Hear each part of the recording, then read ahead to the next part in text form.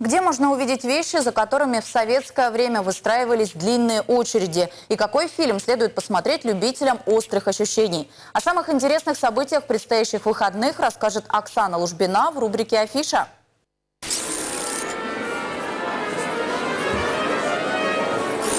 Что это пролетело перед глазами? Да это же выходные. Чтобы в прямом смысле слова не проспать субботу и воскресенье, составьте план мероприятий заранее. В субботу и воскресенье на втором этаже ТРЦ «Планета» будет работать выставка «Дефицит», и вы сможете погрузиться в эпоху советского времени.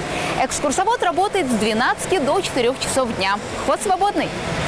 Ну, это выставка советских времен. Товары, которые раньше можно было по записи взять в очереди большой, отмечаться, ходить. Вот это вот выставляется здесь. Телевизоры свободно, а тогда нельзя было. Пылесосы так же самое, фотоаппараты, не все марки можно было взять. Прогуляться по Тбилиси, узнать историю виноделия можно не выезжая из Красноярска, посетив выставку «Колоритная Грузия» в парке «Сады мечты». Более трех тысяч снимков различной тематики от известного грузинского фотографа Тамази Капанадзе. Посмотреть на Красноярск с другой стороны, узнать что-то новое о родном городе вы можете на экскурсии.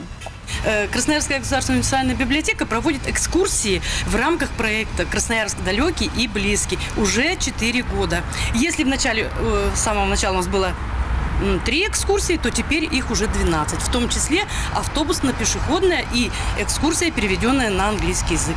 Запись предварительно у нас обязательно нужно позвонить, либо на электронную почту написать. Все, кто считает прогулки скучной затеей и желает пощекотать себе нервы, прямая дорога в кино на фильм ужасов «Слендермен».